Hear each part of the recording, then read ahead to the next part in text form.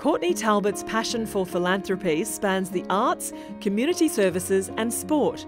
She introduced an innovative crowdfunding event to the Queensland Library Foundation, which resulted in new donors gifting $20,000 in the past 18 months. And she's made her own generous contributions to the State Library of Queensland. Courtney is on fundraising committees for MS Queensland and Brisbane Festival.